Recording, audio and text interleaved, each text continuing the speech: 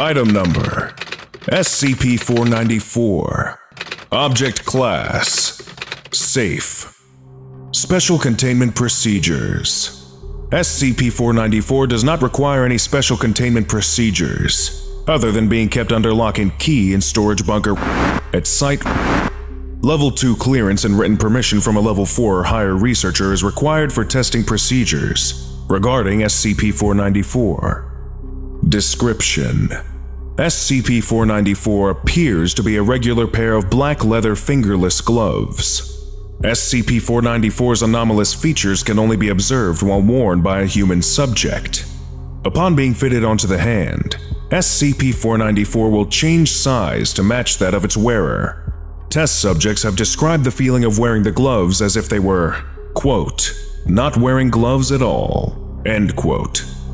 SCP-494's true anomalous nature is revealed in that when an object is held in each gloved hand, after exactly 5 minutes, the two objects' makeup will be suddenly traded.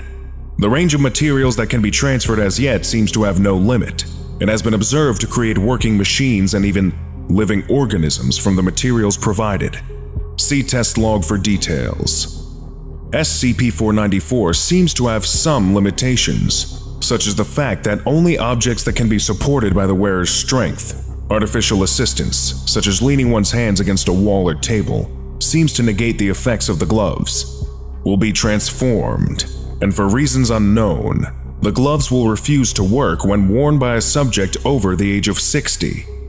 Testing Log Test 494-1 Materials Right hand 1.24 carat diamond. Left hand, one regular golf ball. Result Right hand, one diamond shaped piece of plastic. Left hand, one rounded crystal formation, 2 inches in diameter. Diffractometry confirms monocrystalline diamond. Test 494 2 Materials. Right hand, one Nokia flip cover cellular phone. Left hand, two stainless steel razor blades.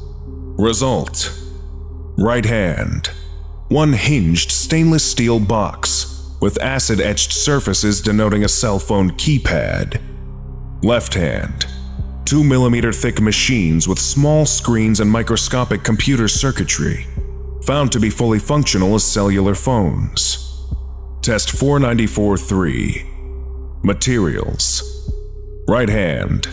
One white laboratory rat. Left hand. One 1974 penny. Result. Right hand. One copper statuette of a rat. Left hand One small disc-shaped organism with white fur Though lacking sensory organs or any observed lungs or digestive system, organism is entirely viable and responds to external stimuli such as light and pain. Test 494-4 Materials Right hand One vial containing live streptococcus bacteria. Left hand One white laboratory rat.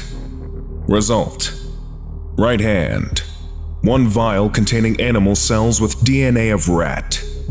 Left hand no observable difference aside from a slight change in the hue of the animal's fur. However, after further observation, the resulting animal proved to be capable of asexual reproduction. It proceeded to give birth to 77 young within an hour, without any indication of stopping. Resulting offspring grew rapidly, maturing within a half hour. Mature offspring in turn produced their own offspring. All animals were subsequently incinerated. Estimations of rate of reproduction suggest over 100,000 young would have been produced within a day. Note: All tests involving the effects of SCP-494 on live microorganisms are now strictly prohibited. Addendum 494-1 Suggestions for testing the effects of SCP-494 on SCP-500 in conjunction with other materials are currently pending approval. Lesson complete.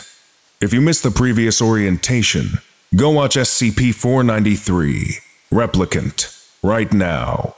Or for the complete course, watch this playlist.